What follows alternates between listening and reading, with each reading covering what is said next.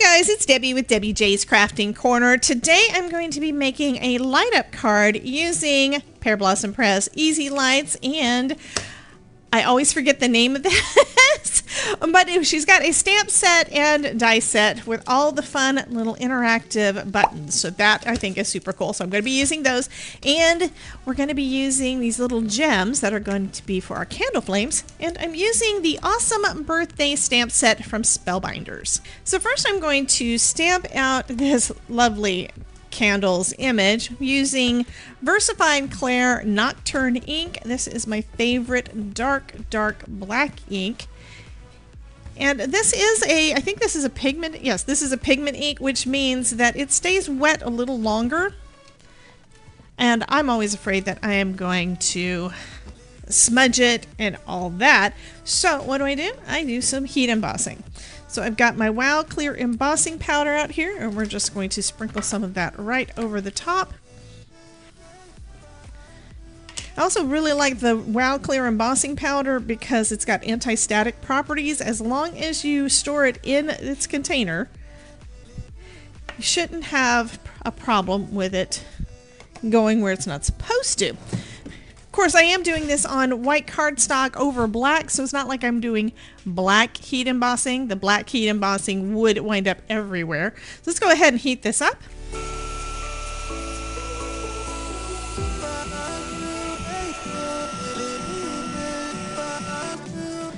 So next we're going to start coloring up our images. I'm just using one of my Spectrum Noir pens here and I'm starting off with just the flames kind of to give me an idea where I want to color.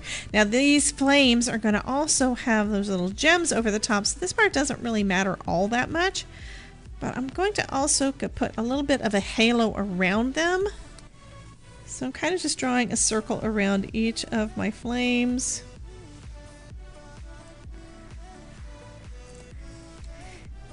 Hey guys, although I had an idea of what I wanted to do, this is still seat in my pants. I'm not sure what I'm doing. that is the way it is. I everything basically inspires me as I go along. So if something is holding you back, if it's because you don't know what you want to make or how you want to make it, just sit down and start playing because you know what? The ideas ideas will come to you. Okay, next I think I want to put some blue on the background. So That'll be nice. I'm going to go into the background and just going to try not to hit my candles. And go around that halo, which is why I did the halos first. And I'm using the bullet nib close up to the candles and then I'm going to come back in with the with the chisel the chisel tip to basically get the rest done because otherwise it will take me forever to get this coloring done.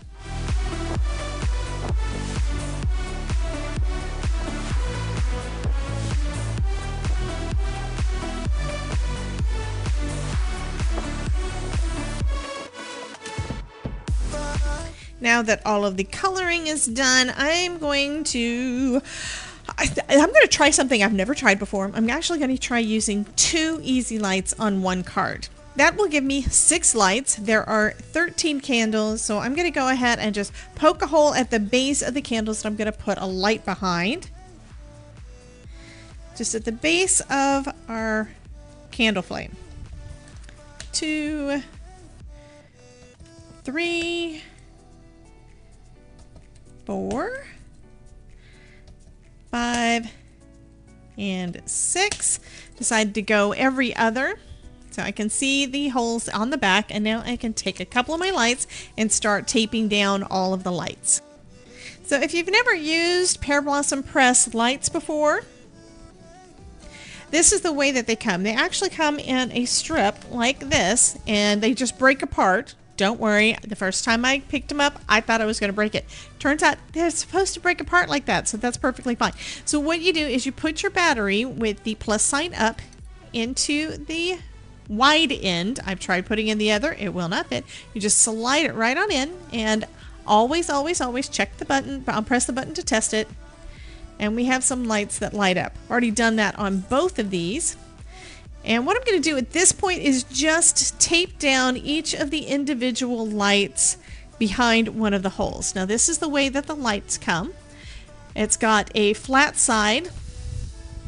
You can probably see a little bit of metal back there, a flat side and a rounded side. The rounded side is the LED and that's what you want to face out through the hole.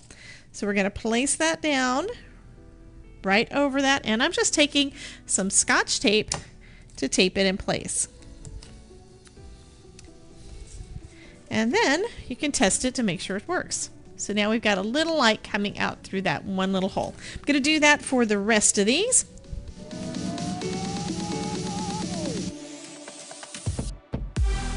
And again, we're making sure that the the round side is actually facing down.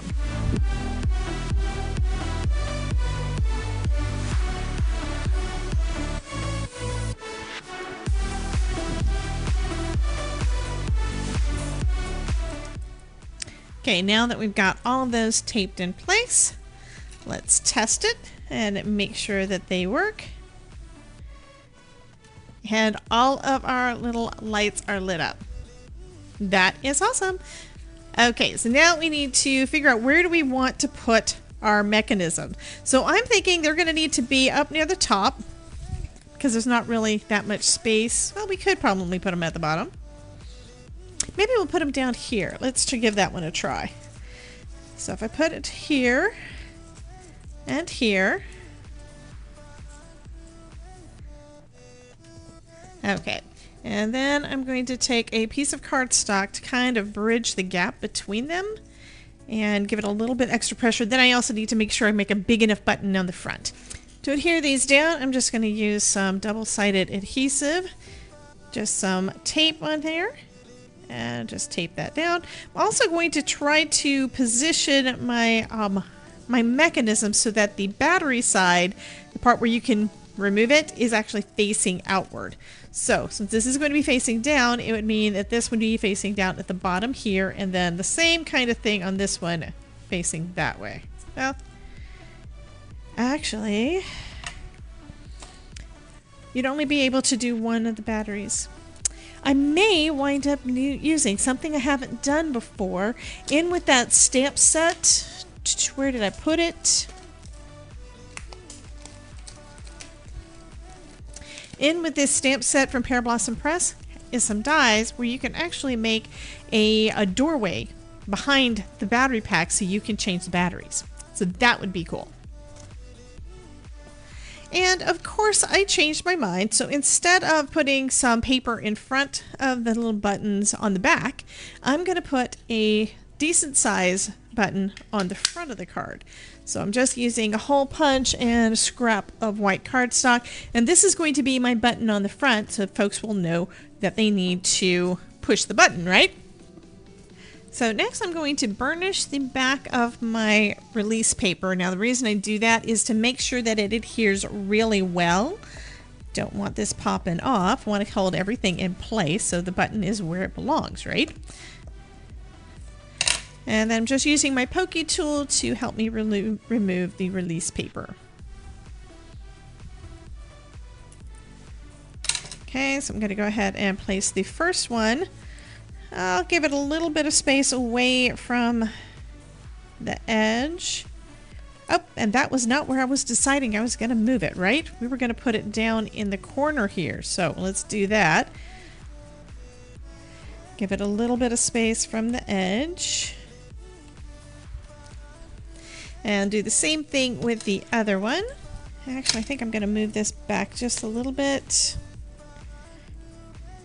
Now we'll put it right about there. And then this one can go right beside it so that the buttons are pretty much together. Okay, let's see how that does. So if we press here, it lights up all six lights. Next, we can just tape down those extra wires so they don't get in our way. Perfect. Okay, so next what I'm going to do is I'm going to add some foam tape to the back. I'm going to be using Pear Blossom Press World's Best Foam Tape. This stuff is fabulous. It is thicker than most. It's double thick, and it so it's the perfect height for using with our lights, and it is repositionable. so if you mess up, like I've done, um, if you mess up, you can put it back down. It's not going to rip your paper.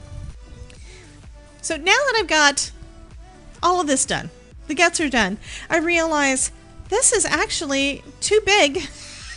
I always do a little bit of a white outline all the way around the edges of my card, but even without that, it's still bigger than my card base. So I'm going to fix it. I am going to trim it down. Yeah, putting everything in my in my paper trimmer as is. And just trying not to touch the the sticky part of of the ones that are the curved. Yeah. Uh, I'm going to trim this down to four. So let's go ahead and go to four and an eighth on one side. Take a look at this outside, make sure it still looks okay. Okay, I'm going to trim, I'm not going to trim any off of the bottom, but I do want to make sure that it is straight. So it is straight, that's good. And I can't really trim off much on this side either, so I'm going to have to trim it on the other. So one of the wonderful things is that the foam tape is repositionable. So I can peel that off.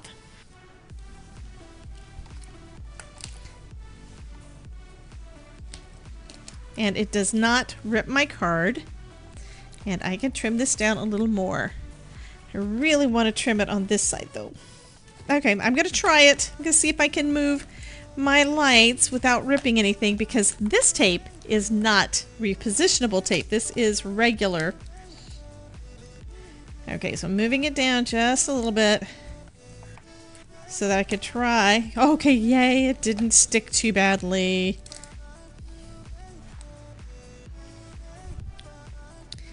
Okay, bring that up just a little bit. Let's bring that back up over here a little bit. Okay, and now we should have, we're going to have a white border all the way around. Perfect.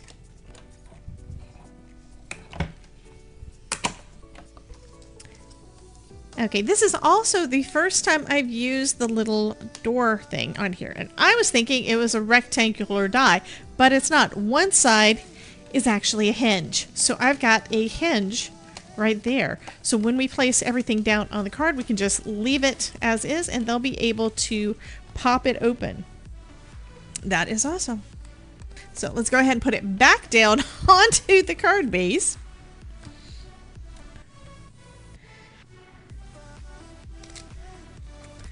And of course the tape is sticking to my finger.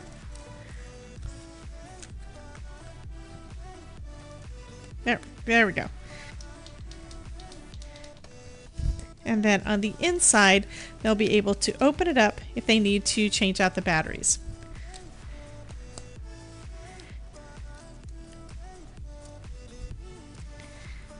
And I'm putting this piece down right here because it doesn't it has the release paper still on there and that way it doesn't yeah that way it doesn't stick to the door okay now let's go ahead and add our little gems to the front and I need to do a sentiment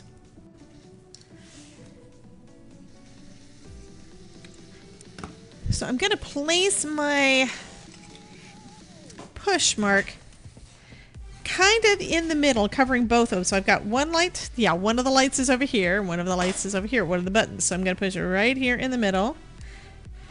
And they may only catch one, but that's okay. It's kind of where, depending on where they push, they're going to have different things lighting up. So that's kind of cool. I think it actually kind of looks kind of neat with part of them, oh, part of part of them lighting up and part of them not. So let's go ahead and put our sentiment down. Stop getting older, you're weirding me out. And then I can add on all these little gems.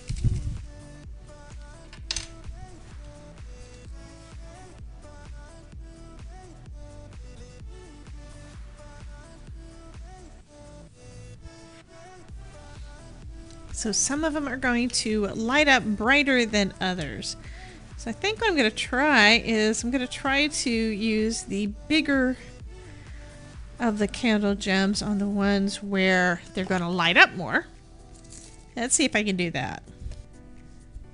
Because there's some big ones and some little ones in here. So I'm going to try using just the little ones on those flames that are not going to light up quite. a